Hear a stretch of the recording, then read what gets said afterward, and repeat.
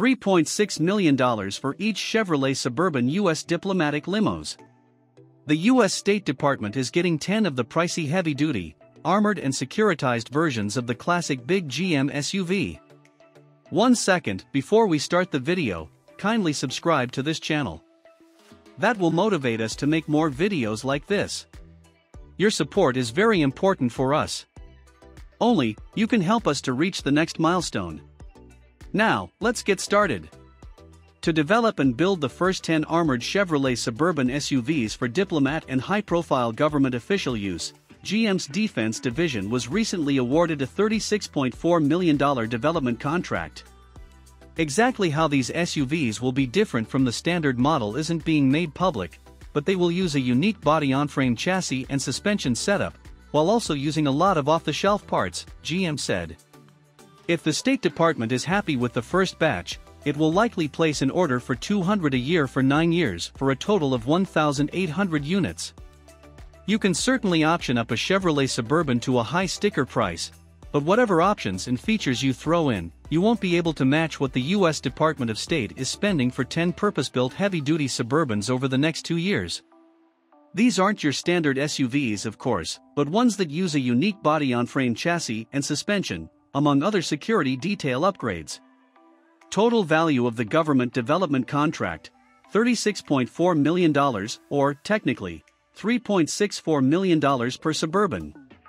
Full details of the heavy-duty Suburbans are not being talked about just yet, but GM, specifically, GM Defense LLC, will use some of the money to develop the new chassis and suspension system which is required to support increased government vehicle performance requirements with a higher payload capacity and greater ground vehicle weight.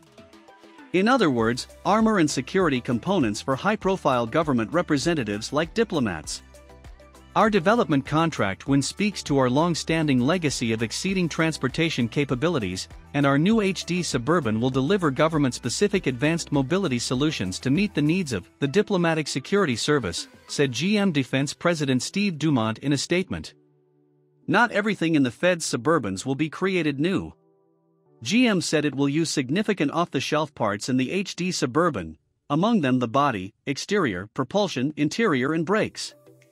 That will leave more of the development money to be spent on fine-tuning the advanced manufacturing tools and techniques, including fixtureless assembly and flexible fabrication that GM said it will use to build these SUVs. GM said these techniques will help make building these kinds of low-volume products more efficient and reduce costs. Keeping manufacturing costs down might not seem like a big deal when you're making just 10 vehicles with a budget of $36 million, but this is likely just the first of many modified Suburbans that the State Department will buy from GM. GM Defense said it will deliver this first batch of vehicles next spring. Then, when the development contract is completed around May 2023, the government is expected to put in an order for a fleet of 200 HD Suburbans each year for 9 years.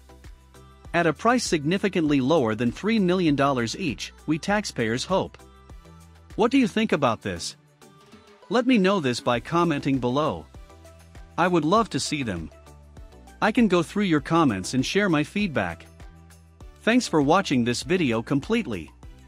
Kindly subscribe to this channel and hit the like button. Thanks again, have a great day.